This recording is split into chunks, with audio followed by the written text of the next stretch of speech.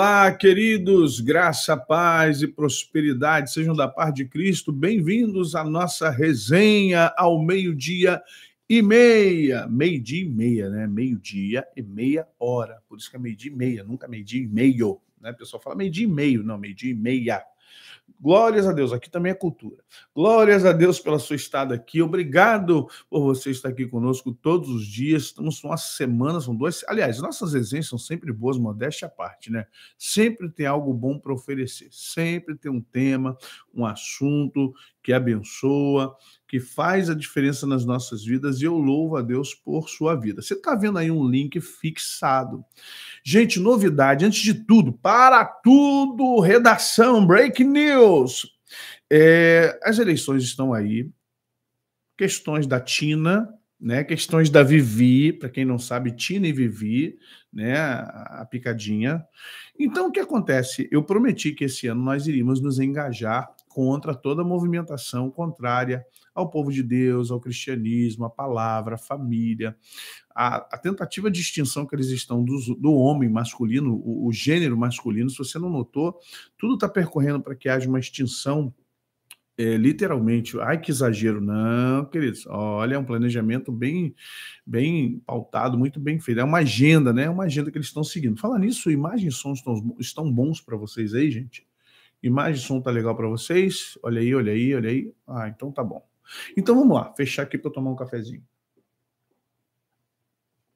É, nosso canal, tanto a TV Palavra Viva quanto o José Maurício, já recebeu dois blocos. Então a gente não pode receber mais o terceiro bloco. Terceiro, a, a, nós já recebemos dois. Isso, se a gente receber três blocos de uma vez, eu estou tentando ver isso aqui, o canal é suspenso. Como eu vou falar de questões políticas, viés de esquerda, como vou falar de né, as questões de gênero, da Tina, uh, da máscara do Batman, aquela coisa toda, sem expor nosso canal a perigo.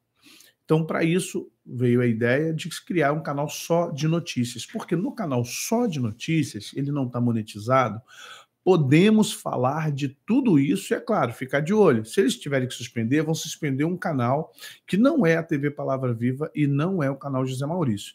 Fica a TV Palavra Viva para os programas que estão propostos aí, está vindo aí, tem o Adoração e Adoradores amanhã, resenha meio-dia, vamos ter o Adolas Podcast, já chegou aqui os microfones, está chegando a mesa, e nós faremos o JM News, que é um canal de notícias onde nós notícias curtinhas, não vamos ter nada muito longo, né? Serão aquelas notícias de três, quatro minutos.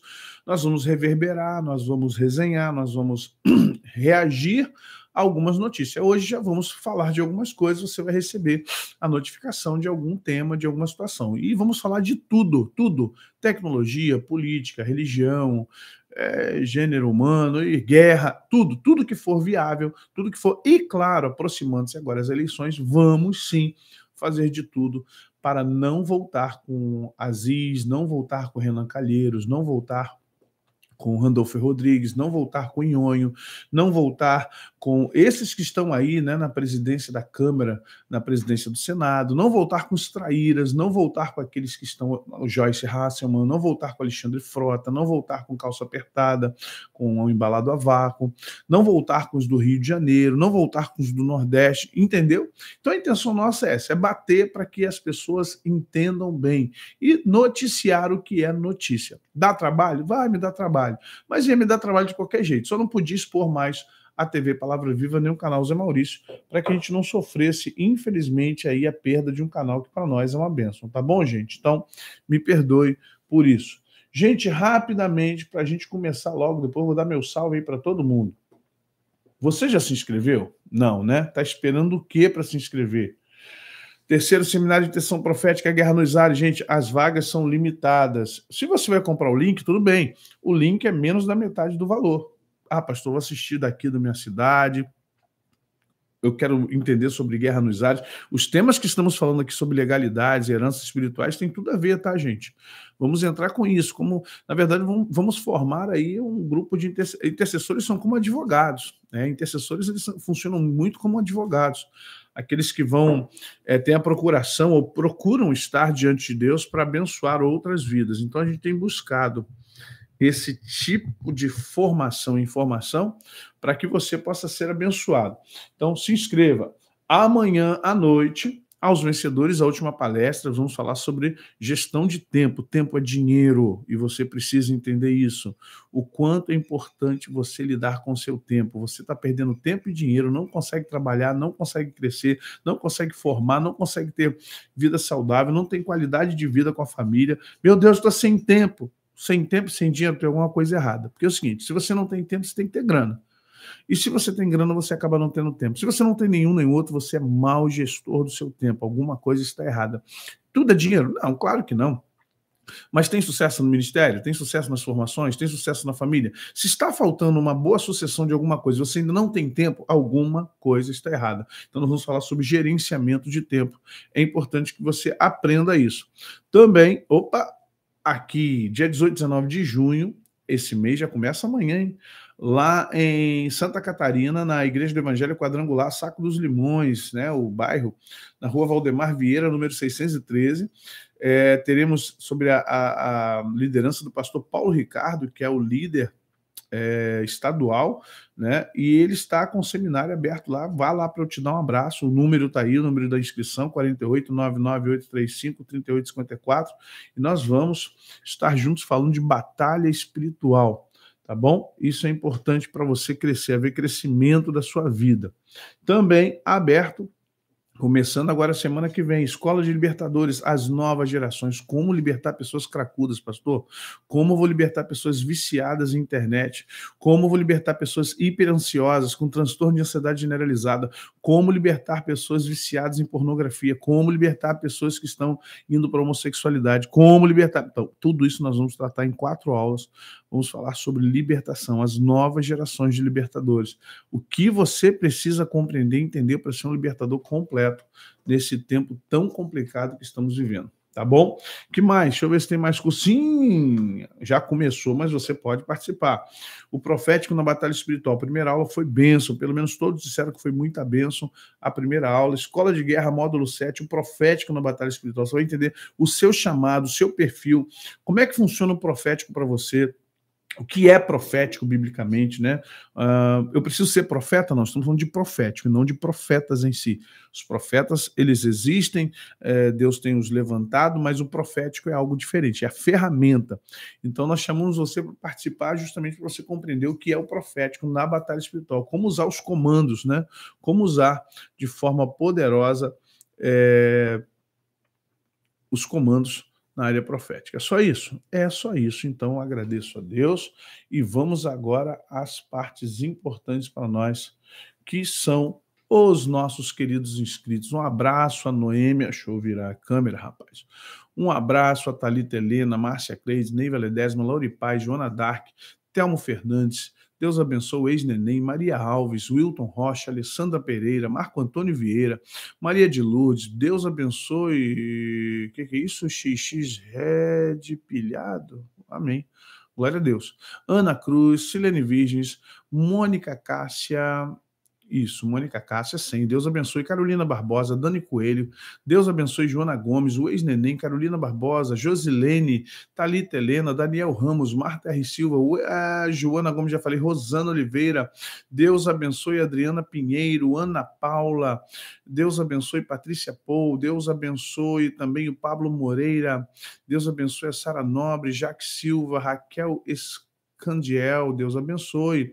A Cleia BR, Deus abençoe. No começo, começou, claro. Renaelze, Deus abençoe. Rosilene, Ivonete, Deus abençoe. Dani Coelho, Patrícia Pou, Deus abençoe. Heloísa Cândida, Priscila, Renato Machado, Deus abençoe. Cirina Advocacia, ô Elisângela, Joana Gomes, Deus abençoe cada um de vocês. Maria Toledo, obrigado, Maria Gouveia. Deus abençoe sua vida. A gente quer ofertar. Eu agradeço a Deus pela sua vida. Nos ajude, tá difícil, está osso. Agora o YouTube está cobrando 30% de imposto de renda lá nos Estados Unidos. Preste atenção, já é pouco. Aí tira 30% de imposto na fonte. Ninguém merece. Jesus é bom.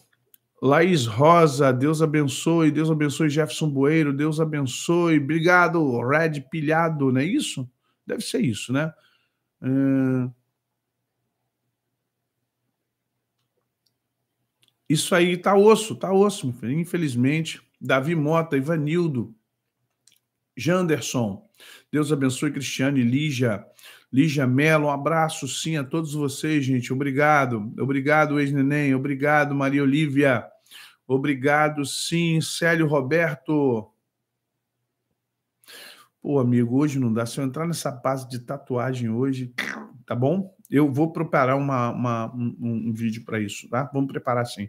Zeli de Paula, Lamara Gomes, Wilton, Karina, Jefferson. Gente, o pessoal que é do grupo aí, eu estaria a partir desse mês, junho, julho, fazendo vídeos para os parceiros direto, tá? Conforme prometido, eu não tinha cumprido, vou cumprir agora.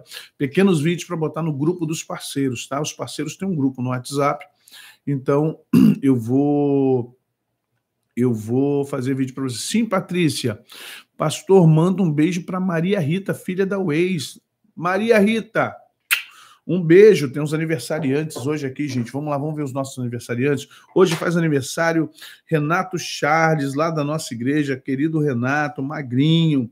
Renato, do nosso equipe de louvor, toca baixo, toca bateria, toca violão, uma bênção, Renato. Deus abençoe, Renato.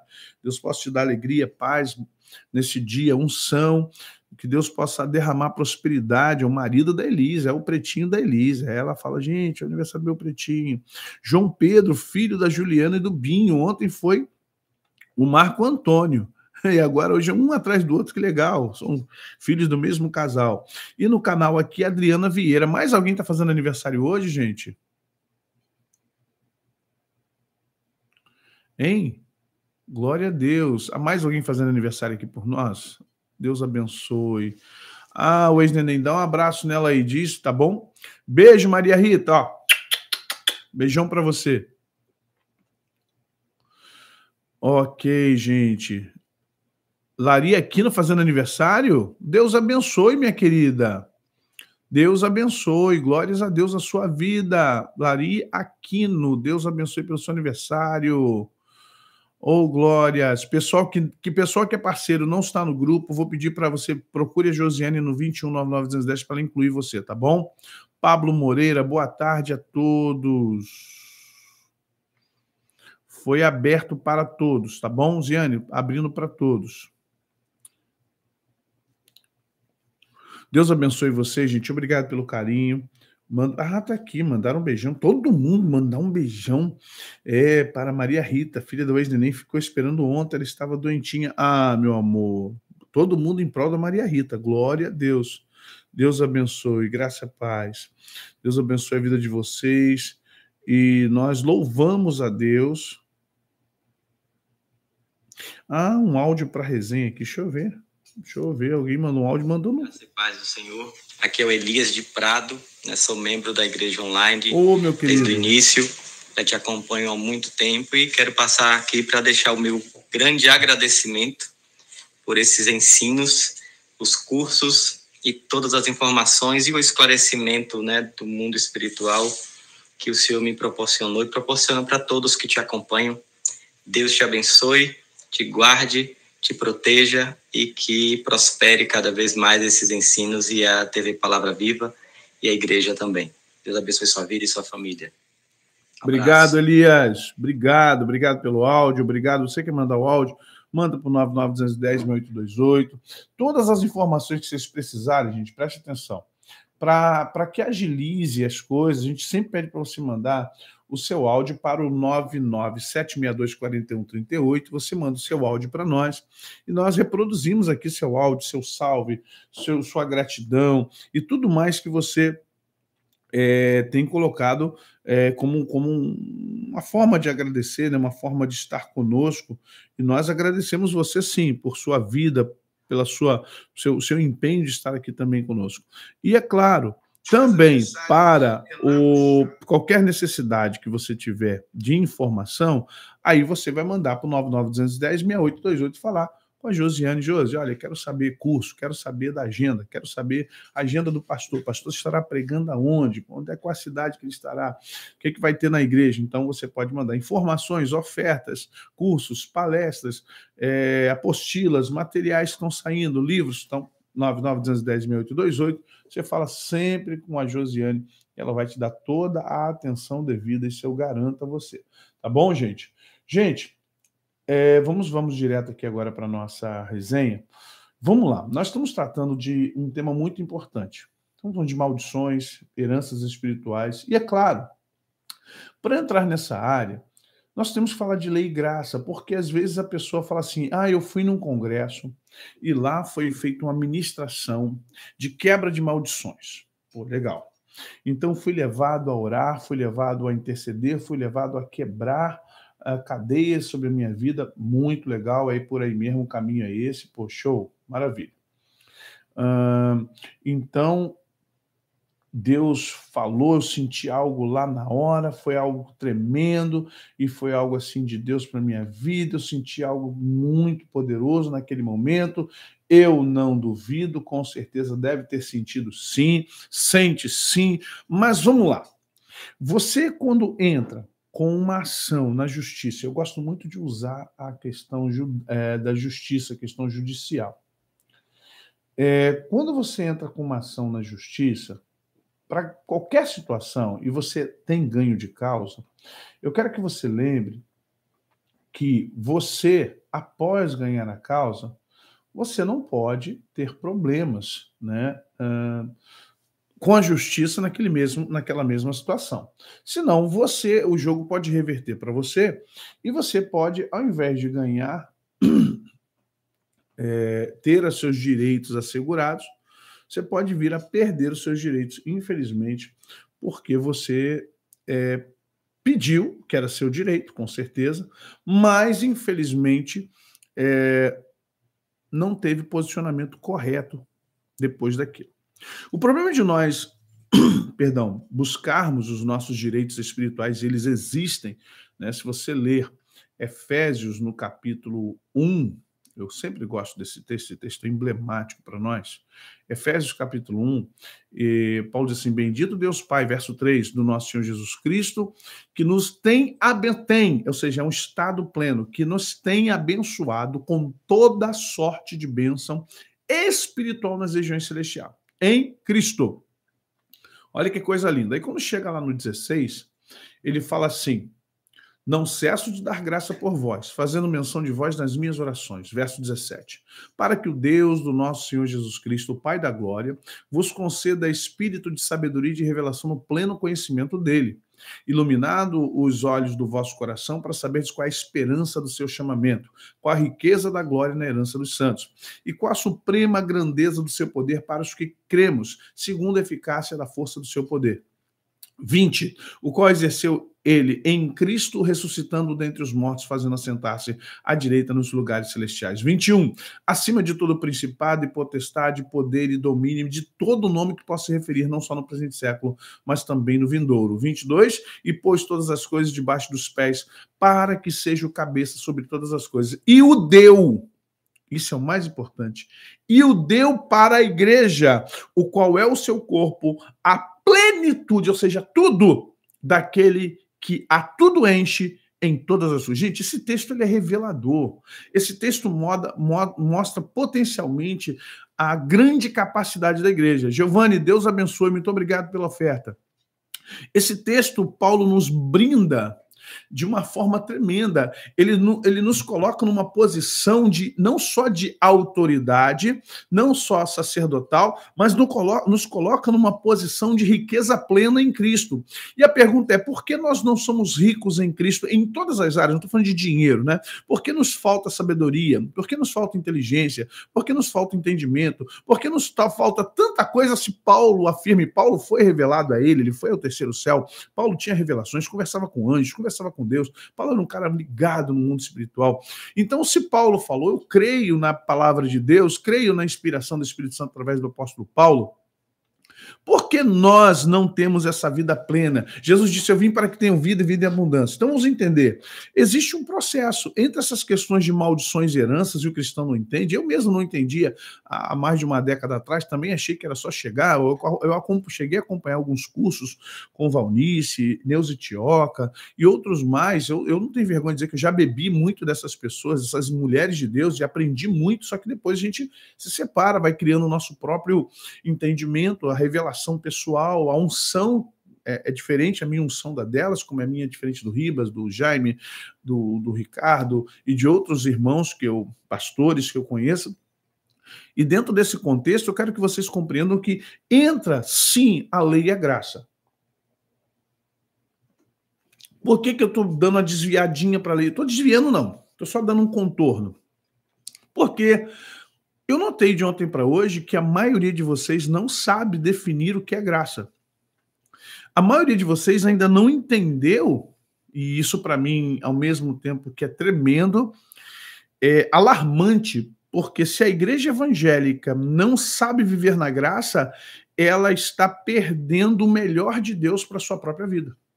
Repito, se a igreja evangélica não sabe distinguir a graça e não sabe viver na graça, ela está perdendo o melhor da salvação na terra. O melhor da salvação é você e eu ir para o céu. Amém. O melhor da salvação é de não ir para o inferno, né? Ele nos transportou do império das trevas para sua maravilhosa luz. Então, isso é o melhor da salvação, é o melhor da graça. Mas na terra, o melhor da graça é viver em soberania de Cristo é ser, como acabei de ler em Efésios, a plenitude de tudo, que enche todas as coisas, inclusive nós. E ele pôs todas as coisas debaixo dos seus pés. E os pés de Cristo é a igreja. Para ser o cabeça de todas as coisas, deu para a igreja. Só que eu digo, o que a igreja está fazendo com aquilo que Cristo deu? Vivendo em maldição, vivendo sob decreto, vivendo sob herança espiritual maligna, vivendo vida de tristeza, de, de angústia, de depressão, de ansiedade. Por quê? E a resposta é simples: a falta de entendimento da graça. Estai, pois, firmes na liberdade com que Cristo nos libertou, e não torneis a colocar-vos debaixo do jugo da servidão. Deixa eu parar aqui. Nós nos colocamos no jugo da servidão sempre. Por quê? Uma hora você entende que você está na graça, na outra hora você quer fazer uma campanha de sete dias no monte. Ué, pastor, não pode fazer uma campanha de sete dias no monte? Pode. O problema da graça e da lei não é o que você faz, é o que você pensa. A questão da lei e da graça está, tem a ver com mentalidade e não com execução de obras. Preste atenção. Quando Paulo diz o homem espiritual a tudo discerne, 1 Coríntios, e por ninguém é discernido, porque ele tem a mente de Cristo, vamos entender que mente não é cérebro, mente não é alma, o que é mente? Mente é um alinhamento de, de ó, a mente é o alinhamento do espírito, da alma, do cérebro e do corpo. Quando esses quatro entes em mim, você é complexo, mas você precisa entender. O espírito alinha a alma, alinha o cérebro e alinha o corpo. Quando esses quatro entes que estão em nós, que estão em nós, que for, nos forma, essas quatro dimensões que somos, nos forma quando elas estão alinhadas, o que acontece? Temos uma mentalidade. O que, é mental? Quando eu falo assim, fulano tem a mentalidade tacanha. Fulano tem a mentalidade de mão de vaca. Fulano é muquirana. Por quê? O cérebro dele, a alma dele, o corpo dele, a forma como ele vê o mundo, a forma como ele trata a família, a forma como ele vê as coisas, a forma como ele percebe o mundo, é uma mentalidade. Vocês estão entendendo o que é mentalidade? É a mentalidade muquirana. Então, essa pessoa ela tem uma mentalidade que, infelizmente, faz com que tudo, inclusive seus átomos, né, suas moléculas, o seu corpo reage de forma muquirana, mão de vaca, tacanho, ignorante, tudo está errado, nada está certo. Então, é uma mentalidade. Mentalidade não é sério. A minha mente, não, a sua mente, quem é a sua mente? A mentalidade é o alinhamento, e aí não importa para onde, se é em Cristo, se é para o diabo, se é para o mundo. Por exemplo, uma pessoa que está uma pessoa que está aprisionada na prostituição, ela tem uma mentalidade de prostituta, de prostituto, porque tudo ela enxerga sexo. Tudo ela enxerga, para ela tudo é muito natural. Sexo grupal, é natural orgia, é natural transar com homem, com mulher, é natural porque a mentalidade dela está na prostituição. A compreensão? O satanista ele tem a mentalidade satânica. Para ele, o mundo é visto dentro daquela mentalidade de poderio dual. É, é, é, é, um maniqueísmo. O satanismo trabalha com maniqueísmo. Ou de um lado ou de outro, é binário. Então é a mentalidade. O cérebro dele atua conforme o espírito satânico que está nele. A sua alma prescreve daquela forma, o seu corpo pensa daquela forma e ele age dentro do contexto. Então, a mentalidade dele é satânica. Você entendeu o que é mentalidade? Pergunta você: você conhece alguém com a mente de Cristo? Porque para ter a mente de Cristo, você tem que estar alinhado pelo Espírito, o teu espírito alinhado pelo Espírito Santo, comandando a sua alma, comandando o seu cérebro, comandando o seu corpo. Eu te pergunto: quantos cristãos você entende que tem a mente de Cristo?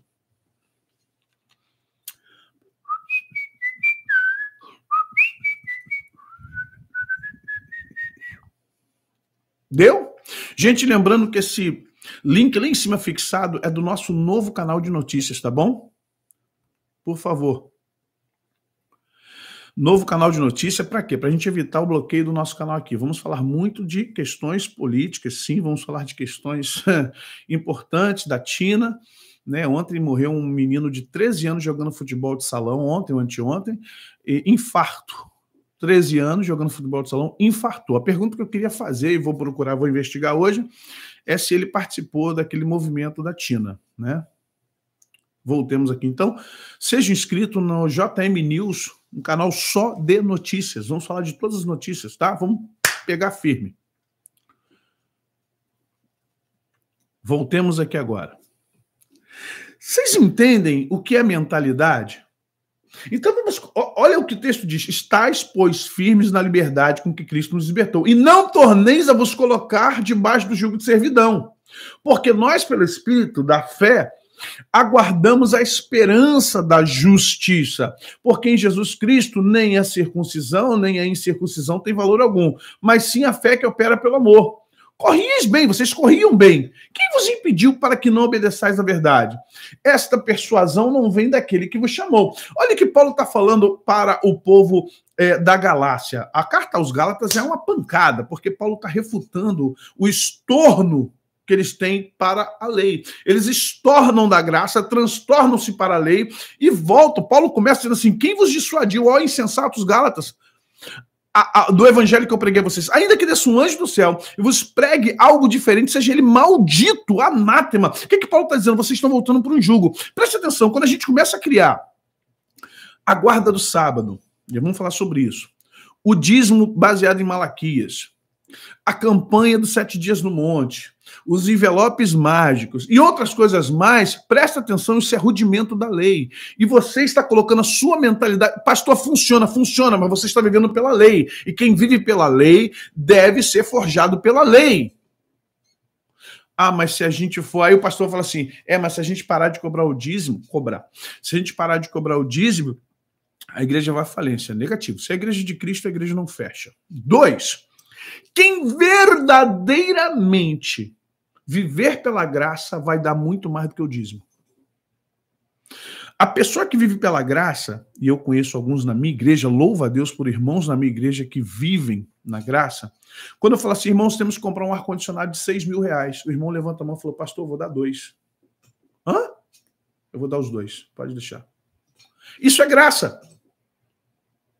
Lá na igreja, quando eu falo assim, irmãos, precisamos fazer isso, precisamos de 10 mil. Quem pode dar mil? Quem pode dar 100? Acabou.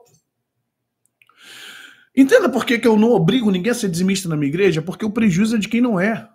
A igreja nunca vai atrasar aluguel, a igreja nunca vai atrasar luz, água, telefone, salários. Por quê? Porque, na verdade, quando eu permito que a igreja viva na graça ou queira andar pela graça, o lucro é muito visível no, no que diz respeito que a graça faz você ser responsável, muito mais responsável do que a lei. A lei te obriga a dizimar. A graça diz que você precisa dizimar porque é a sua característica, é o seu caráter, é a sua generosidade em Cristo. É você ceder aos fariseus. Os fariseus davam dízimo. Você, na graça, cede aos fariseus. Os fariseus davam 10%, você, quando pode dar 20%, dá 30%, porque é graça. Aí, se um cara da graça falar que dá 30% de dízimo, o cara da lei vai dizer: é maluco. Tu tá ultrapassando, rapaz, o que Deus falou. Deus não quer isso na tua vida, não, hein? Deus não pediu isso. A palavra de Deus diz que não é isso. Paulo diz: Deus ama quem dá 10%, não é isso? Não é isso que Paulo diz? Deus ama aquele que dá os 10%.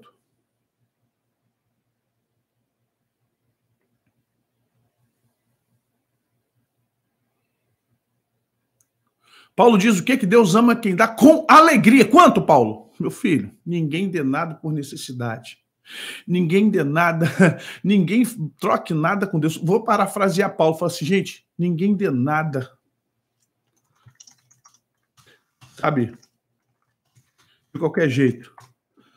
Não dê porque você fica com medo do devorador, do migrador, do cortador, do chuck, do, do, do, do... Não faça isso.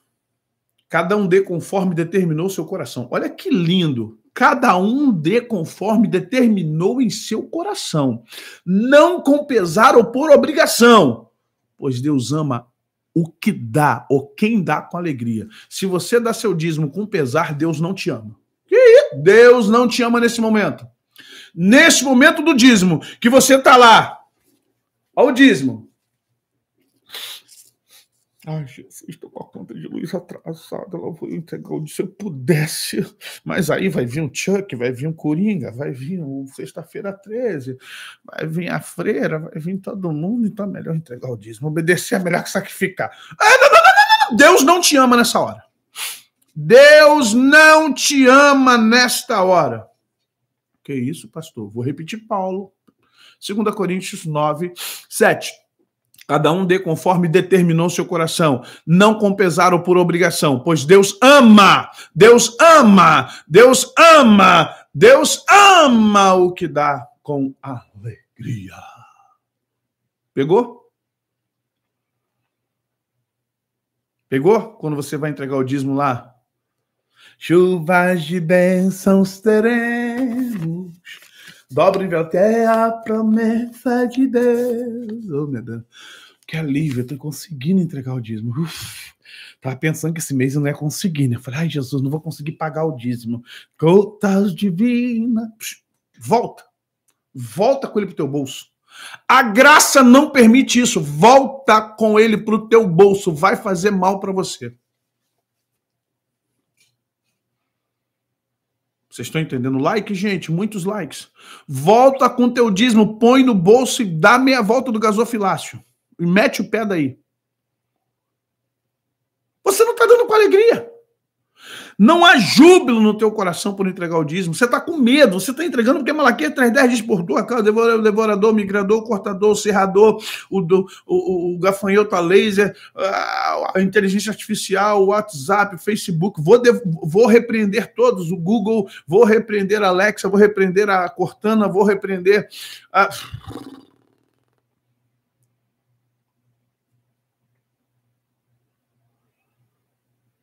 Dízimo não pode ser lei para você.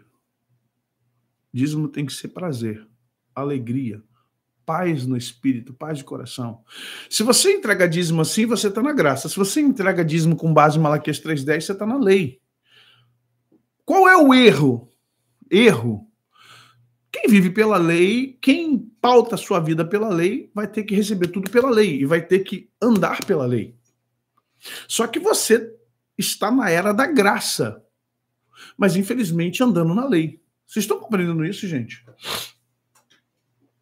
Será, pois, que se não deres ouvidos à voz do Senhor teu Deus, para não cuidares em cumprir todos os seus mandamentos, os seus estatutos que eu te ordeno, então virão sobre ti estas maldições e te alcançarão.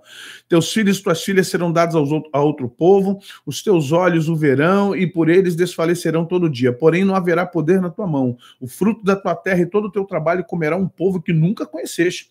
E tu serás oprimido e quebrantado todos os dias. E enlouquecerás com o que vires com os teus olhos. O Senhor te ferirá com úlceras malignas nos joelhos e nas pernas pernas, de que não possa sarar, desde a planta do teu pé até o alto da cabeça. O Senhor te levará a ti e a teu rei, que tiveres posto sobre ti a uma nação que não conheceste, nem tu nem teus pais, e ali servirás outros deuses, ao pau e à pedra. Deuteronômio 28, 15, 32 16. Esse momento do mandamento é uma profecia. Literalmente, lê depois Deuteronômio 28, vem as bênçãos, se atentamente ouvir, e depois vem, se não ouvir, porém, é literalmente Nabucodonosor, Xerxes, Ciro, Dário. É literalmente isso que acontece. Porque é lei.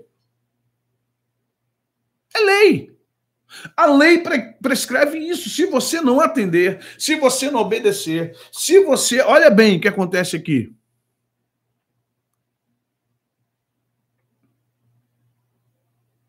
Preste atenção. Esse texto é emblemático porque ele mostra a força da lei. Agora, para quem? Para o povo judeu. Gente, a lei nasce no contexto judaico. Primeira coisa que você tem que entender, por que, que a lei aparece? A lei aparece porque Deus reúne Moisés, reúna o povo ao pé do Monte Sinai, ao Horeb. Moisés leva aqueles quase 2 milhões de pessoas. Ó, oh, Moisés manda o pessoal lavar suas roupas, manda o pessoal não se contaminar, manda o pessoal tomar banho, porque amanhã virei sobre vocês. Qual era o planejamento de Deus? O planejamento de Deus primário era derramar a lei dele nos corações de todos os judeus ali no deserto, para que eles fossem com a lei do Senhor no coração para Canaã. Preste atenção. Quando Moisés sobe, Moisés chama Ur, Arão, né? O Sinédrio, os príncipes das tribos, o Serrendrim ali, os principais os príncipes, os anciãos principais, os cabeças de família, e Josué. Moisés sobe ao monte. Quando Moisés sobe ao monte, o povo está lá embaixo. O que acontece? Um fenômeno. Qual o fenômeno? O que, qual, qual o fenômeno que acontece? O monte começa a tremer, eles olham para o monte, fica tudo numa cor avermelhada, fumegando, saindo fumaça, como se estivesse saindo fogo. Terremoto, barulho, como eles, eles dizem que era como canglor, clangor, né? Como se fosse buzinas tocando. E eles tiveram tanto medo, tanto medo, que eles se afastaram do monte. O monte simbolizava o trono de Deus. Eles se afastaram do monte e começaram a gritar com Arão, com Ur, com, com todos lá: Para! Para! Moisés, não queremos que Deus fale conosco. Olha bem, não queremos que Deus fale conosco. Fala tu com Deus e Deus fala com tu e você fala conosco. Não queremos a lei de Deus no coração. Vocês estão entendendo? Moisés, olha, como assim, gente? Não queremos. Ali, o Pentecoste foi atrasado. Preste atenção, quantos, olha só, quantos séculos o Pentecoste foi atrasado? O Pentecoste de Jerusalém era para ter acontecido no deserto com Horeb. Aí Deus falou: beleza, Moisés, plano B. Tanto é verdade que Deus usa Oséias. Deus usa os profetas para dizer: naqueles dias derramarei do meu espírito sobre toda a carne. Deus usa Joel. Porque eles, eles vão falar novamente isso. Vocês deveriam ter recebido isso lá no deserto para sair como nação santa. Aí o que, que Deus faz? Cria um sistema de religião. Que é o sistema da lei. A lei começa em Moisés. De Adão, de Adão a Moisés não tem lei. A lei começa em Moisés, porque Deus não queria criar lei, Deus queria derramar do seu espírito sobre todos os judeus, sobre todos os hebreus. Há compreensão, gente? Se há compreensão? Não, Daniel, Deuteronômio, vamos lá, gente, gente, gente, gente, eu sou professor de teologia, vamos lá, vamos colocar as coisas em determinado lugar. O dízimo hoje é dinheiro, tem alguém, tem alguém que planta aqui? Tem alguém que cuida de boi, vaca? Tem alguém que tem ovelha, cavalo, gordura? Tem alguém que tem soja, milho, arroz, feijão? Então hoje, irmãos, o dízimo tem que ser em dinheiro. Por que tem que ser em dinheiro? Porque se eu vivesse na roça plantando, ia levar uma galinha, ia levar um pedaço de porco, ia levar uma banda de um porco, ia dar meu dízimo daquilo que eu tenho. É o que acontecia no Antigo Testamento. O mundo moderno não tem isso. Alguns lugares de missões as pessoas fazem isso na África, na Índia, e a gente aceita porque tem que aceitar, é o que tem. E a gente não tem dinheiro para comprar comida. Então vamos colocar as coisas nos seus devidos lugares, tá bom? A gente dá dízimo de dinheiro porque é o que nós só temos. Nós não temos arroz, não temos milho, não temos trigo, não temos leite, não temos gordura, não temos vaca, não temos ovelha, não temos bode. Então, é o que pode ser dado, tá bom, gente? Vamos lá. Voltando aqui agora à, à questão. Entenda, a graça foi adiada. Por que a graça foi adiada? Porque o povo não quis Ei, será que a graça não está adiada para muita gente ainda hoje? Tá bom, Daniel? Valeu, queridão. Obrigado. Vocês estão compreendendo? Será que a graça não está adiada hoje? Será que hoje não tem muita gente fazendo como Israel? Fala a Deus com o profeta, fala a Deus com o pastor, fala a Deus com fulano, fala a Deus com Beltrano, e eu vou ouvir. E deixa Deus falar, Deus usa teus vasos, Deus usa teu servo. Por que se o mesmo Espírito que está em mim está em você? Por que, que Deus tem que usar o vaso X, Y, se você tem o mesmo Espírito Santo e você é um ser salvo, lavado e remido pelo sangue do mesmo Jesus que morreu, me lavou e remiu a mim também. Está remindo e está santificando a mim também. Entenda que esse contexto é um contexto veterotestamentário, é um contexto de lei. E a igreja, infelizmente, não sabe viver sem a lei, porque ela ainda não compreendeu a graça. Gente, deixa like, por favor, ajuda a gente.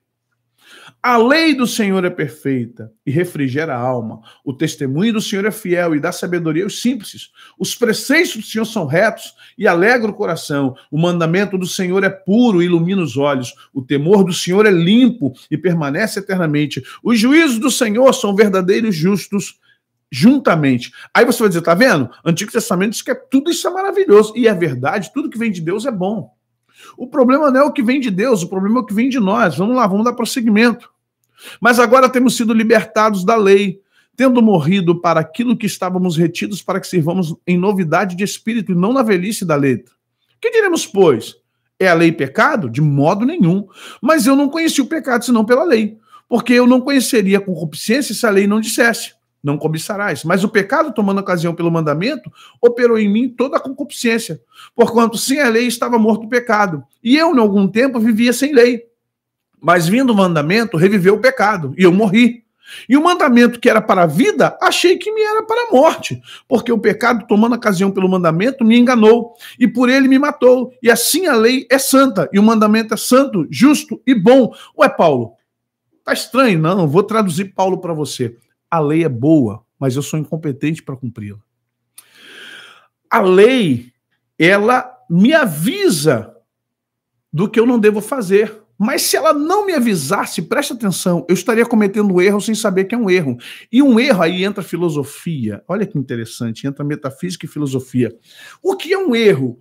Um erro é aquilo que eu ocasiono ou um erro é aquilo que eu sei? Existe dolo dolo eventual na justiça, existe a culpabilidade, existe um, um, um crime culposo, um crime com dolo, dolo eventual, é, premeditado. Vamos entender isso dentro de um sistema mais jurídico. Eu só sei que é pecado porque a lei está dizendo. Eu praticava, era errado, mas eu não tinha consciência. Então, o que ocorre? Por eu não ter o Espírito de Deus em mim, a lei não facilitava em nada, pelo contrário, ela me aprisionava, porque ao invés dela me ensinar a não cometer mais pecados, ela só dizia que eu estava pecando. A lei não tinha antídoto para os meus pecados. A lei não tem antídotos para os meus erros. É por isso que quem vive pela lei está sempre com problema. Eu conheço gente que vê anjo, que vê varão de fogo, que vê espada de Miguel, mas continua com o nome sujo no Serasa, continua tendo problemas no casamento, continua tendo fraqueza sexual, continua ainda bebendo uma cervejinha, continua tendo fracassos na vida ministerial, continua tendo lascívia nos seus olhos, no coração, continua tendo problemas seríssimos de intimidade com Deus, mas vê anjo, vê espada, tem visões, profetiza na igreja, aí você fala assim, gente, isso é uma incongruência, é o diabo que está usando. Não, não é o diabo. Eu vou dizer para você, separe graça, lei, humanidade e Deus. Você vê como o assunto é complexo, gente? Posso acabar por aqui? Amanhã a gente volta? Ok? Gente, eu vou ficar um ano falando disso e muita gente vai ficar assim, ó, uau, meu Deus, é verdade, faz sentido. É verdade. Claro que é verdade, claro que faz sentido. Inclusive com pastores. Estamos usando Bíblia aqui, queridos. Estamos usando Bíblia. Eu quero que você entenda muito bem isso. Lei e graça. Esta é a aliança que farei com ele. Depois daqueles dias, diz o Senhor: porei as minhas leis em seus corações e as escreverei em seus entendimentos. Acrescenta: jamais me lembrarei de seus pecados e suas iniquidades. Ora, onde há remissão destes, não há mais oblação pelo pecado. Tendo, pois, irmãos, ousadia para entrar no santuário pelo sangue de Jesus, pelo novo e vivo caminho que ele nos consagrou, pelo véu, isto é, pela sua carne e tendo um grande sacerdote sobre a casa de Deus, cheguemos-nos com verdadeiro coração e inteira certeza de fé, tendo os corações purificados da má consciência. A lei não tira a má consciência, e o corpo lavado com água limpa, foi o que eu falei, o sangue de Jesus nos purifica do pecado para a salvação, mas quem nos purifica para a santificação é a água limpa do Espírito. Retenhamos firmes a confissão de nossa esperança, porque fiel é o que prometeu havendo riscado a cédula que era contra nós nas suas ordenanças, a qual de alguma maneira nos era contrária, e atirou do meio de nós, encravando-a na cruz, e despojando os principados e potestados, expôs publicamente deles, triunfou em si mesmo. Portanto, ninguém vos julgue pelo comer, ou pelo beber, ou por causa do dia de festa, ou da lua nova, ou dos sábados, que são sombras das coisas futuras, mas o corpo é de Cristo, ou seja, guardar o sábado. Lua nova, lavar mão, botar véu, e aí eu não estou criticando religião de ninguém, denominação de ninguém. Preste atenção, você não está proibido de fazer isso, mas você está optando a viver pela lei. É uma opção sua. Se você quer pôr véu, se você quer guardar o sábado, se você quer fazer festa judaica, se você quer fazer festa do tabernáculo, já participei. Se você quer fazer Yom Kippur, se você quer fazer o ano novo judaico, faça, mas entenda, você não pode achar que isso faz parte da graça, porque não faz. Há entendimento, gente? A graça, ela nos levou a mil anos-luz de evolução no quesito da lei. A lei estava enferma por causa do homem, do pecado que habitava o homem. Leia Romanos 7, gente. Ah, então na graça o povo fica folgado. Negativa, quem muito é dado, muito é cobrado. Preste atenção, não é fácil viver na graça, não, meu irmão. Se você acha que viver na graça é bagunça, não é bagunça, não. Deus mata na graça. Jesus Cristo não mudou, mesmo ontem, hoje sempre. Deus não muda. Ele mudou a dispensação da lei para a graça, mas ele continua sendo Deus. Ele mata do mesmo jeito. Ele te tira do mundo do mesmo jeito. Ele castiga do mesmo jeito. Ele opera do mesmo jeito. Poderoso Ele é, e em nada mudou, nele está nossa fé. Poderoso Ele é. A graça, é isso aí, ô Carolina. A graça te dá mais responsabilidade. Aí, talvez por isso, muitos não querem viver na graça. Porque na lei eu sou infantilizado. Na lei olho por olho, dente por dente. É que eu falei. Quem opera na lei é o diabo, quem opera na graça é Deus. O diabo opera através da lei, porque ele é legalista. E o Espírito Santo opera através da graça, porque ele é remidor para a santificação.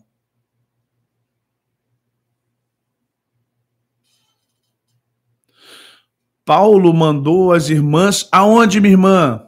Contexto histórico, Eliane.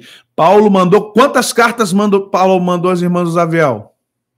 Só aos coríntios. Por quê? Por causa das prostitutas do templo.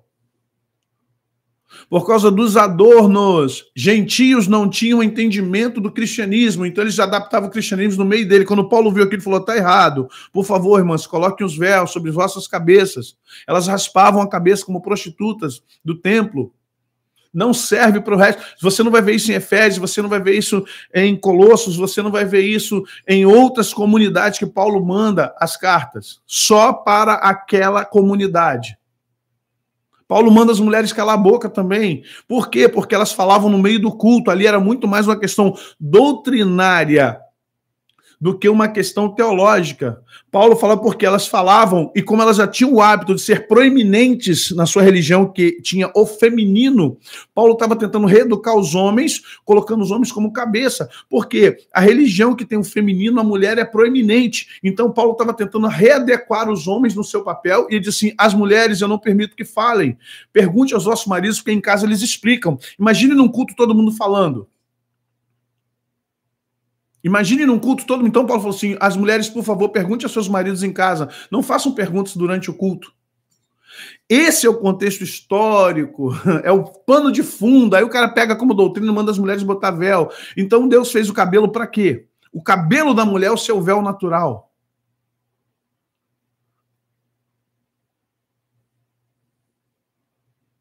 Compreendem isso, gente? Tem um contexto histórico, não serve para 2020. Graça, graça, graça. Quem vive pela lei, pague pela lei. Preste atenção nisso. A igreja deveria estar vivendo pela graça. Não, olha, respeito a todo mundo. A igreja usa véu? Deus abençoe. A igreja guarda o sábado? Deus abençoe. Mas a graça que o próprio Paulo destrinchou através de Cristo diz que eu não preciso usar esses rudimentos. São ferramentas de lei e não da graça. Ok, gente? Deixa o like aí. Vamos lá. O que acontece? O Senhor diz: Esta é aliança que farei com eles. Depois daqueles dias, diz o Senhor: Porei as minhas leis nos seus corações, escreverei em seus entendimentos. E acrescenta: Gente, por que, que tem a guarda do sábado? Porque era necessário, o povo saiu do Egito sem nenhum dia para o Senhor. Então Deus pega o Shabá, o sétimo dia, e diz: Olha, vocês vão trabalhar seis, e o sétimo vocês vão separar para mim porque eles não quiseram o Espírito de Deus. Mas na graça, o que ocorre? Na graça, você não guarda o sábado, você guarda a segunda, a terça, a quarta, a quinta, a sexta, o sábado e domingo. Discutir sobre fazer cultos domingo, porque é um dia pagão. Olha, se você pegar o calendário espanhol e os outros calendários, todos eles são baseados na astrologia lunes, martes, miércoles, viernes. Se você ver Lua, Marte, Vênus, Mercúrio. E Sunday, domingo é dia do sol. Por favor. Se você entrar nessa linha, você está lascado. Na graça, todos os dias são santos para mim, de domingo a domingo.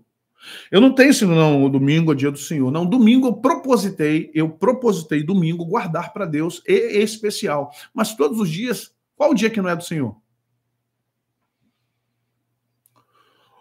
A Bíblia fala de o dia do Senhor. Sabe o que é o dia do Senhor na Bíblia? Principalmente no Novo Testamento e no Antigo Testamento, Maranatá. O dia do Senhor é o dia da sua vinda, não é o domingo. Quando se fala do dia do seu grande e terrível dia do Senhor, é o dia da sua volta para cobrar, para a, ajustar as contas com os povos, com os reis, com os grandes e pequenos. Então, esse no Novo Testamento fala do dia do Senhor e não o domingo. É claro que a partir de Roma, domingo torna-se simbolicamente sendo um dia de culto, mas segunda, terça, quarta, quinta, sexta, sábado e domingo, a gente adota o domingo porque ele é um feriado mundial. Mas se não fosse ele, podia ser segunda, podia ser quarta, podia ser sexta.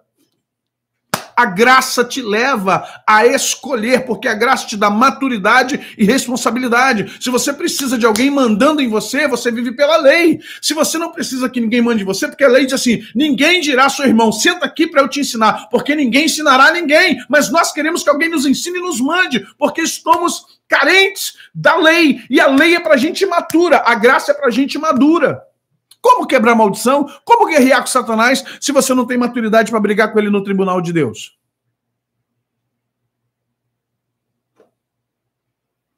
A lei diz que você tem que guardar o sábado, você tem que fazer festas santas e guardar os calendários judaicos, você tem que sacrificar animais. Quer dizer que você critica um bandista? Você critica as religiões afro-espíritas porque eles derramam sangue de animais? Mas na lei tinha que ser isso também. Então você escolhe, olha só, nem pela lei você está vivendo direito, hein? Nem pela lei você está servindo para viver. Porque se você for viver pela lei, você tem que guardar o sábado. Você guarda? Você tem que guardar a lua nova. Você tem que começar a plantar e trazer o dízimo do campo. Você tem que, uma vez por ano, praticar o Yom Kippur. Você não pode ter ceia todo mês, você tem que ter uma ceia uma vez no ano, que é o Yom Kippur. Você tem que guardar todas as festas do calendário que Deus deu aos, aos filhos de Abraão. Uh, você tem que dar o dízimo de acordo com a lei de Moisés e a lei do Antigo Testamento. Você tem que guardar uma cordeira, uma rolinha, um bode para sacrificar. Tá vendo a incongruência evangélica? Tá vendo como somos incongruentes? A tua igreja tem que ter tabernáculo. Ou você tem que ter uma menorá, você tem que ter um. um... Aí tem gente que põe na igreja uh, a arca. Desculpa aí, você critica o católico? É isso mesmo? Você diz para o católico que ele é o quê? Que ele é idólatra. Porque ele tem uma cruz, ele tem um Jesus, ele tem uma Maria, ele tem um Pedro, mas você tem uma arca enorme não, é só um símbolo. Eles também acham que é só um símbolo. Não, mas eu não idolatro. O católico também diz que não idolatra. Qual é a diferença? Fala para mim.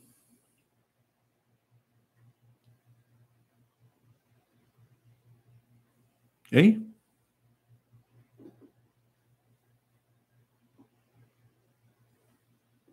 E aí, gente?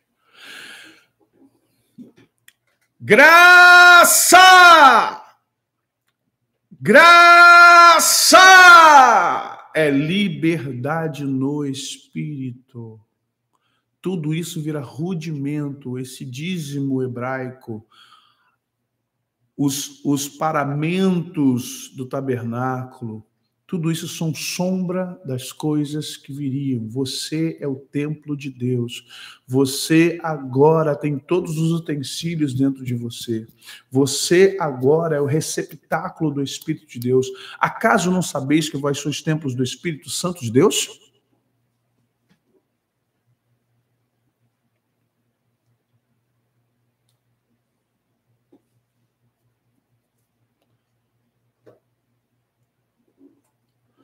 Ora, visto que a lei tem sombra de bens vindouros, não a imagem real das coisas. Nunca jamais pode tornar perfeitos os ofertantes, como os mesmos sacrifícios que, ano após ano, perpetuamente lhes oferece. De outra sorte, não teria cessado de ser oferecidos, porquanto os que prestam culto, tendo sido purificados uma vez por todas, não mais teriam consciência de pecados? Entretanto, nesses sacrifícios faz-se recordação de pecados todos os anos, porque é impossível que o sangue de touros e bodes remova pecados. Eita, Bíblia linda! É impossível que qualquer sacrifício da lei substitua o sacrifício de Cristo. Piscina para dar sete mergulhos de Namã, vai lamber sabão. Vai lamber sabão. Raspar a cabeça como propósito, vai lamber sabão. Você é budista? Você é shintoísta?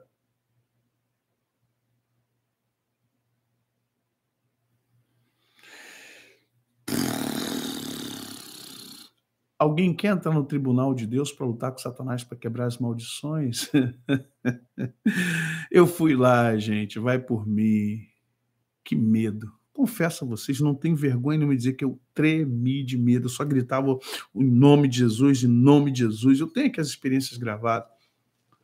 Eu só falava isso, aquele enorme, como se fosse um. Eu fui nos dois lados, fui no lado de Jesus e fui no lado de Satanás. E vou ser sincero, com Jesus eu pensei que ia morrer. Não, não, não, não ousava nem levantar a cabeça, sabia que era ele. A glória, o temor, não teve brilho, oh, não, não. Era surreal, com certeza. Dizer para você que eu estava no lugar comum é mentira. Mas eu sentia aquela, aquela santidade, aquela emanação de poder, e eu não, não tentei levantar os olhos para ver. E com Satanás eu tive medo, muito medo. Parecia um homem enorme, diga-se de passagem mãos grandes, brancas, parecia branco, não é branco de etnia, não, era um branco esquisito. E zombando, rindo, sarcástico, muito sarcástico comigo. Eu tive muito medo. Daquela experiência para cá, eu entendi que eu não sabia nada. Daquela experiência para cá, eu entendi que eu não tinha nenhum conhecimento de tribunal de Deus. Daquela experiência, olha que eu estudava muito sobre isso, hein? Daquela experiência para cá, eu comecei a tomar muito mais cuidado com o meu conhecimento da graça. Nós estamos na graça vivendo pela lei, por isso que está dando tudo errado. Nós estamos na graça cheio de maldições, não deveríamos estar com maldições. Não deveríamos estar debaixo de decreto nenhum, irmãos. Pelo amor de Deus, nós anulamos o sacrifício de Cristo todos os dias, nos nossos cultos, na nossa liturgia, na nossa doutrina. Pelo amor de Deus, outro dia eu morri de rir, eu estava lembrando nas minhas vigílias nos meus tempos pentecostais, como é que é que você é batizado com o Espírito Santo? Olha só que coisa linda, olha a mistureba da lei, olha que, olha que a lei e a graça faz. No meu tempo, quem é desse tempo sabe disso, você ia para vigília, como é que você era batizado no Espírito Santo? Com motor de arranque, empurrando, vai lá, dá glória, glória, glória, glória, glória, glória, glória, glória, glória, glória, glória, dá glória, dá glória, dá glória, dá glória. O Espírito tá vindo, é glória, glória, glória, glória, glória, glória. Quando vem, Aí tu era batizado com o Espírito Santo.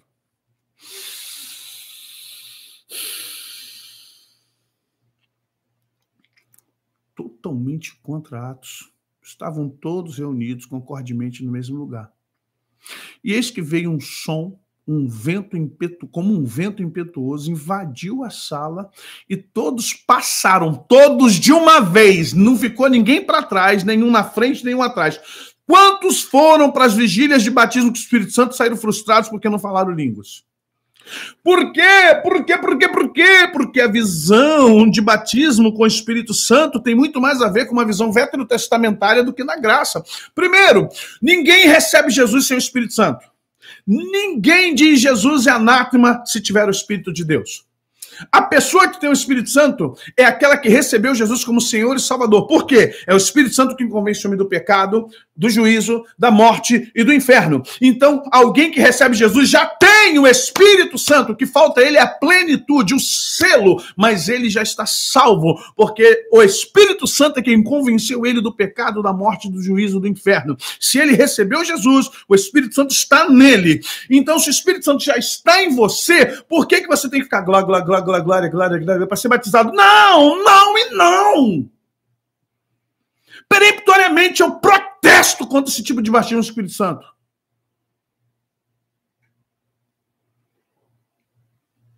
Espírito Santo, sela minha vida. Ai, Jesus. O Espírito Santo é o ser mais sensível que está em você. Não grita com ele, não. Não grita com ele, não. Não brinca com ele, não. Simplesmente diga: Espírito Santo, eu te quero. Quero receber o batismo com fogo. Mas aí o que acontece? O que, que dá ruim aí? Vou te dizer o que dá ruim. A visão do Espírito Santo é a visão judaica, não é da graça. Por que, que a gente faz isso? Porque a visão de batismo do Espírito Santo nossa é a visão da lei. Ele vem do alto. O Espírito Santo já está na terra, ele está na horizontal, ele veio do alto em Pentecostes. Espírito, Espírito, que desce como fogo, já desceu. Ele não está na vertical, ele está na horizontal. Depois ele vai voltar para a vertical levar a igreja. Na graça, o Espírito está na horizontal, ele está com os homens. Preste atenção nisso. Na graça, ele não está vindo, ele não está descendo mais, ele já desceu. Que dificuldade, gente. Que dificuldade.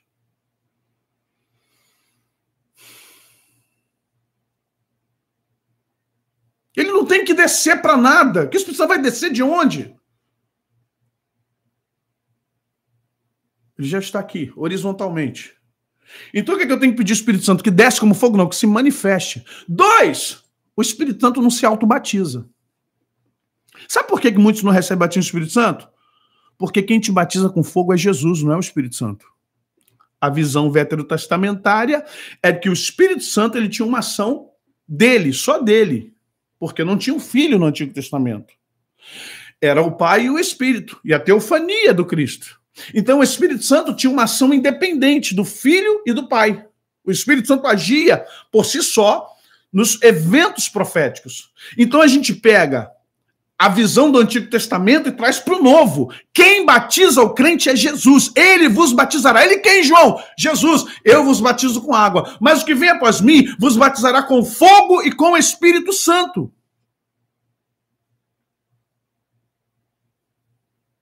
É Jesus quem te batiza. Então a oração tem que ser assim: Jesus, me cela com teu Espírito. O, olha que coisa linda, olha a parceria o Espírito Santo te convence de receber Jesus. Você vai até Jesus e Jesus agora diz: Espírito, sela ele, sela ela. É ele quem te batiza. Quem batiza o homem é Jesus, não é o Espírito Santo não se auto-batiza. Línguas é uma evidência, são várias evidências, não é só línguas. A maior evidência do cristão que tem o batismo do Espírito Santo está em Gálatas. O fruto do Espírito, amor, alegria, paz, bondade, paciência, lealdade, mansidão, domínio próprio, essas são as marcas de quem tem o Espírito Santo. Eu prefiro alguém que não fale em línguas, mas que me demonstre esses dons ou esse gomo, esses gomos do fruto do Espírito, do que alguém que fale muitas línguas e não tem amor, não tem paz, não tem alegria, não tem mansidão, não tem domínio próprio. As línguas é uma edificação pessoal. Olha como é que a gente mistura lei e graça, e quem vive pela lei não consegue nada. Se eu consigo alguma coisa que eu tento, eu me esforço para ver. Quando eu vejo que meus pés estão indo na lei, eu, oh, sai daí, cara. Ei, tá na lei de novo, rala daí, velho. Quando eu começo a pregar, que eu, isso é lei, volta, volta, volta, volta. Toda vez que eu sinto que eu tô indo para a lei, o Espírito Santo diz: volta, graça, Maurício, Maurício, Maurício, Maurício, graça, cara. Sai da lei, velho. Tu, tu já saiu daí, não volta para a lei, não. Vocês estão compreendendo isso, gente?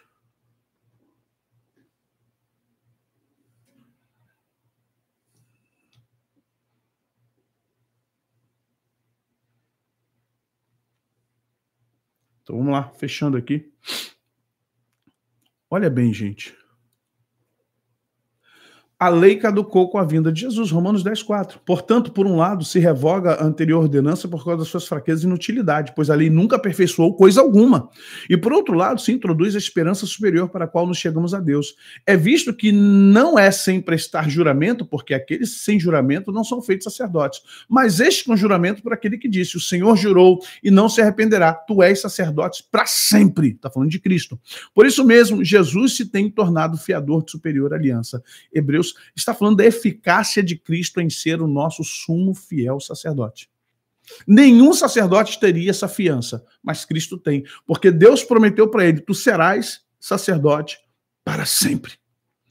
Nessa nova ordem da vida, não há mais diferença entre grego e judeu, circunciso e incircunciso, bárbaro e cita, escravo ou pessoa livre. Mas sim, Cristo é tudo e habita em todos vós. Colossenses 3,11. Gente, ame os judeus, interceda por Israel. Uh, profetize sobre Israel, abençoarei os que te abençoarem. Eu sou abençoado porque eu oro pelos filhos de Abraão. Eu intercedo para que eles reconheçam Yeshua como Hamashia deles. Mas entenda, eu não vou botar kippah, eu não vou usar solidel, eu não vou colocar talite, eu não vou botar roupa de judeu, porque Cristo me tirou desses rudimentos. Se eles são judeus, eu respeito porque tem a ver com a sua cultura. Mas eu, brasileiro, não farei isso, porque é ter vontade de retroceder. Eu não vou ao Muro das Lamentações para fazer oração lá, porque Jesus mandou entrar no meu quarto em secreto e orar a Deus. Eu sou o receptáculo do Espírito Santo, eu sou o templo de Deus. Porque a Escritura diz: todo aquele que nele crer não será confundido, porquanto não há diferença entre judeu e grego, porque o mesmo é o Senhor de todos, rico para com todos os que invocam. Porque todo aquele que invocar o nome do Senhor será salvo. Pegar aí, gente. A graça quer te abraçar a graça veio para você. A graça veio para os judeus e nós temos que louvar a Deus todos os dias por Israel. Todos os dias eu louvo a Deus por Israel. Todos os dias eu agradeço a Deus por Abraão, Isaac, Jacó, José, Moisés, Davi. Eu amo, até porque Jesus nasceu judeu. Eu não tenho para onde correr disso. Amém? Quanto a isso, não tem, irmãos. Pelo amor, nunca fale mal de judeus. Não reclame, é o povo de Deus. Deixa Deus tratar com eles. É eles e Deus. Nós não temos nada a ver com isso. São os nossos irmãos mais velhos. Nós somos enxertados neles. Mas entenda, a graça nos alcançou. Eu não tenho que ser como judeu. Eu não tenho que tentar ser como judeu. Eu posso aprender com eles, eu posso compreender coisas que eles têm por ter mais de 5 mil anos de, de cultura, eles têm muito para me ensinar, mas entenda, o espírito que está no meu irmão querido judeu, hebreu, israelense, também está em você, está em mim. Vocês estão entendendo? Então, nós estamos. A Bíblia toda é a palavra de Deus. Mas o Antigo Testamento é para a gente ver Deus trabalhando na vida dos homens em Israel. E o Novo Testamento é para a gente ver Deus trabalhando na vida de todos os homens na face da terra. Primeiro em Israel, depois em toda a terra. A carta aos Hebreus é um, é um, é um compêndio para a gente entender muito bem isso, porque o escritor escreve para os Hebreus dizendo: Ó, acabou. E naqueles dias eu repararei o tabernáculo de Davi que está caído, repararei as suas brechas, levantarei as suas tendas e, edificando o tabernáculo de Davi, olha o que o Senhor diz, através de Amós, não é isso? Eu vou conquistar o resto de Edom. Você sabe o que significa isso na poesia? Vou conquistar o resto do mundo. Você sabe quem é o filho mais novo da parábola do filho pródigo? Os gentios. Você sabe quem é o filho mais velho? Os judeus. Muitos virão de longe e se assentarão na mesa com os filhos de Abraão. Porque muitos que são judeus não são judeus. E muitos que são filhos de Abraão não são filhos de Abraão. Mas muitos que não são vistos como filhos de Abraão serão filhos de Abraão. Vocês estão entendendo isso, gente? Muitos virão de longe e se assentarão à mesa com Abraão. Amém? Gente, deixa like, para para geral e assina nosso canal, o JM News lá em cima, tá? Tá, um, tá fixo ali o, o, o, o link. Que Deus possa abençoar vocês. Uma hora e dez, já falei para vocês, nossas resenhas até esse final de semana. Amanhã, a partir de hoje, agora você entendendo que é lei e graça, amanhã eu vou dar a vocês disposição. Se o diabo não me atacar de eu acordei quatro horas da manhã, tendo uma visão como se fosse aranhas descendo no teto da minha cama. Levantei orando, repreendendo. A pastora Ana quebrou uma cadeira de ferro, ela caiu, uma cadeira de ferro quebrou com ela. Ela não é tão pesada para isso, tadinha. Ferro, ferro Estamos sob um ataque muito grande. Satanás quer tudo, menos que ensinemos a graça. E nesse momento eu sei que estou alcançando centenas e milhares de pessoas que precisavam entender o que é graça, porque viver na lei durante a graça é um aprisionamento espiritual e Satanás não quer que você aprenda a entrar no reino espiritual através da graça. Mas é um problema dele, eu não quero nem saber dele, o problema é dele, vai reclamar com Jesus, covarde. Quer brigar comigo? Briga com meu pai. Briga com meu irmão mais velho. Comigo eu sou fraco, sou pequeno. Mas vai brigar com ele. Mas mesmo assim, vou não só não sei que eu sou folgado. Eu sou pequeno, sou fraco, mas sou folgado. Também eu creio naquele que tem crido. Eu creio naquele que é meu redentor. Amém? Vamos agradecer a Deus. Pai, muito obrigado, Senhor, por tudo isso que o Senhor tem nos oferecido. Maravilhosa graça, inaudita graça, favor imerecido, amor, ó Pai. Na verdade, eh, nós vemos o teu amor a tua palavra viva, eficaz sobre nós. Obrigado por tudo. Obrigado porque o Senhor nos ama de uma forma tremenda, poderosa. Obrigado porque o Senhor é justo, bom, verdadeiro e ama a humanidade ao ponto de dar seu filho por nós.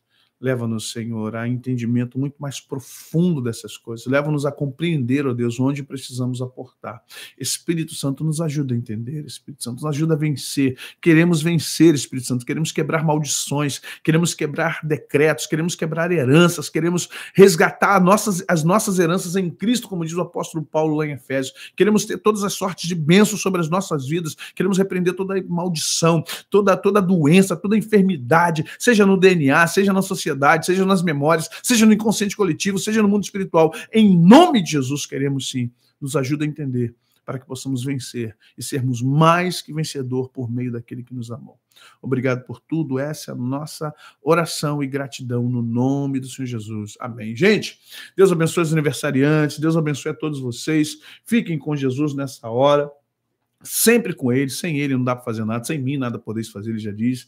Então, Deus abençoe, boa tarde. Até amanhã com mais uma resenha. Não esqueçam, JM News. Hoje tem notícia. Hoje vamos, vamos falar de algumas, vamos dar duas ou três notícias para você compartilhar e vamos levar o Brasil a viver diante do Senhor. Feliz a nação os Deus do Senhor. Vamos trabalhar esse ano, gente. Não vamos deixar que esse povo tome a nossa nação. Amém? Deus abençoe. Graça, paz, prosperidade sejam da parte de Cristo, nosso Senhor.